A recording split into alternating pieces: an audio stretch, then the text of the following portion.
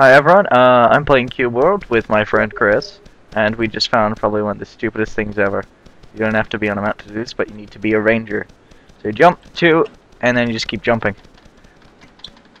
And you literally do not have to do anything else apart from keep jumping. This even works when you're cli when you do climbing. Um, uh, I'll see if I can find a. I'll do I'll do it for the tree actually over here. I missed that tree. I was didn't plan to use that tree anyway. This works a lot better going down hills than up hills. You can see Chris is doing great over there.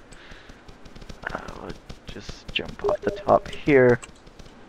Now, and there we go.